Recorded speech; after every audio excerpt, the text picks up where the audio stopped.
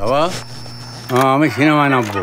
তা তুমি কি উত্তম কুমার হতে চাও নাকি? এই যে উত্তম কুমার কাউনে আগে ইয়া কি কোনো কাহিনী নয় ইয়া আমাদের অক্ষম সমাজের অভ্যন্তরে লুক্কায়িত জটিল কুটিল অন্তঃশাসন্য চিন্তা ভাবনাকে টানিয়া হিসাইয়া বাইরে আনিয়া উপস্থিত করিয়া আমাদের দিকে অঙ্গুলি তুলিয়া বলিবে?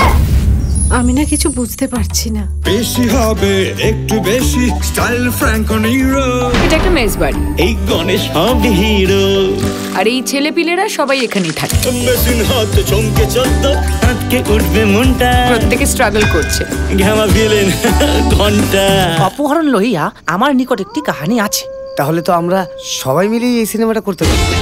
তুমি এত বছরে আমাকে কোথাও নিয়ে ঘুরতে গেছো? কেন? আমি তোমাকে বিস্কুটের কারখানা বেড়াতে নিয়ে যাইনি। ছি, আজগুবি গল্প। এই সিনেমাটা হবে। মিশন মিশন অ্যাডভেঞ্চারে একটু টেনশন